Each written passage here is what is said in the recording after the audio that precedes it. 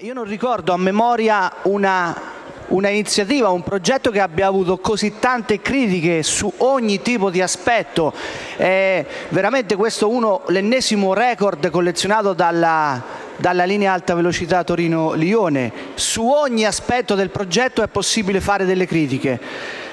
Partiamo eh, dal punto sostanziale che è quello economico, un indebitamento per circa 30 miliardi di euro per un'opera che richiede per la sola parte italiana 20 milioni di metri cubi di rocce estratte, 7 milioni di metri cubi di cemento, un milione di tonnellate di acciaio senza alcuna utilità per il trasporto merci e per il trasferimento modale, un milione di metri cubi equivalente al volume di ognuna delle torri gemelle di New York, 400 metri di altezza su una base di 50 metri per 50 50 e questo è soltanto un, dal punto di vista semplicemente materiale.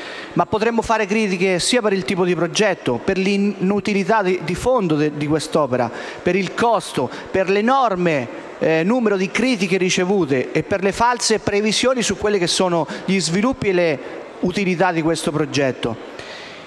La nuova linea ferroviaria Torino-Lione è un caso esemplare di questo tipo di opere perché non ha i dati che la giustifichino, perché ha effetti che sono addirittura controproducenti e perché è pesantemente dannosa sia per gli effetti diretti sull'ambiente che per l'enorme spreco di risorse che sono sottratte alle ferrovie e dalle necessità dei cittadini.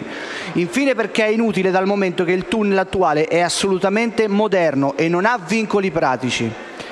La spesa per opere inutili danneggia tutta l'economia della nazione le imprese emigrano verso paesi stranieri che hanno strutture per i trasporti decisamente inferiori alle nostre, perché l'Italia con questi sprechi si priva delle risorse per rilanciare l'occupazione e per ridare competitività alle imprese attraverso l'innovazione tecnologica e la diminuzione del carico fiscale. Di conseguenza i miliardi di euro che vengono sottratti penalizzano l'economia italiana. Chiudo con un'altra mia osservazione personale e faccio qualche chilometro più a destra. Eh, lo scorso ottobre sono stato alla commemorazione del Vaillant. Eh, che cosa ci ha lasciato questa esperienza? Il Vaillant è un esempio ancora molto vivo di quella che è la politica italiana.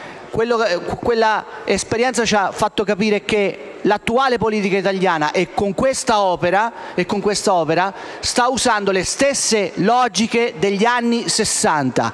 Quindi quell'opera ancora viva ci dice che la vostra politica miope è ancora ferma a quegli anni e per questo diciamo no TAV.